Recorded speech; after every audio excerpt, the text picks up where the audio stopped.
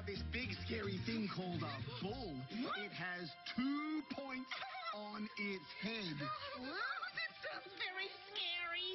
Oh, sorry, Peppy. Well, I found out there are lots of big things that aren't scary at all. Mm. Like giraffes and big buildings in the city mm. and big, soft, cuddly toy bears. Big, ah. soft, cuddly toy bears. Uh-huh. That doesn't sound too scary. Let's look at some of those beautiful big things through the Pippy scope. And then Peppy won't be scared of big things anymore. Is that a good idea, Peppy? Yeah,